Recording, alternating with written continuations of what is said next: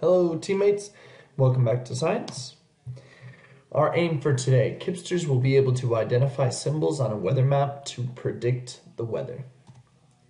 The first thing we need to talk about is what the H stands for on a map. The H stands for high pressure. It does not stand for hot.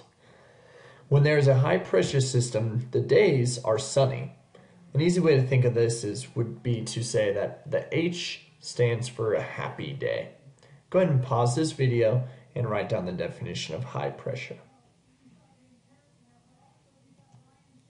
The opposite of high pressure is the L on a weather map. That stands for low pressure.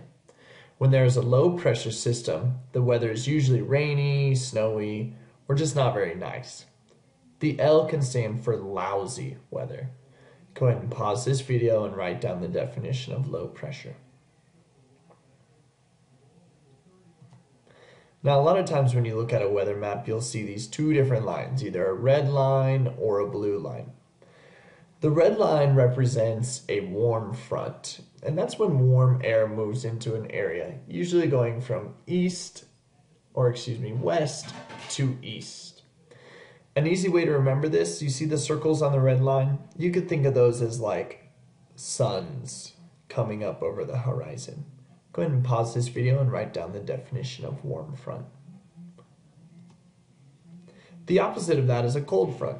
And a cold front is shown by a blue line with blue triangles on it. Think of them as icicles hanging down from your roof during the winter months. A cold front is when cold air moves into the area. Please pause this video and write down the definition of cold front. Let's take a look at different maps on the weather. Or excuse me, different symbols on the weather map. You can see that rain is shown by dots. Heavy rain is more dots. Snow looks like snowflakes. Fog looks like lines. The high pressure is H. The low pressure is L.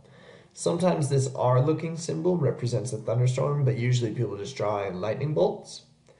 The warm front is the line with circles, and the cold front is the line with triangles. Now I want you to make your own weather maps. As the papers are being handed out, I want you to take a look at your blank map. You need to come up with different symbols along the map. Make it your own and have fun with it.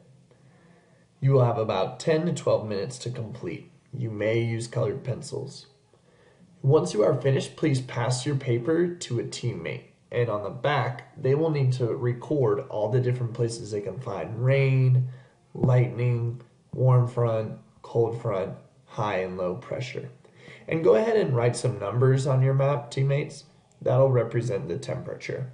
Have fun with it and make sure you stay at a quiet one.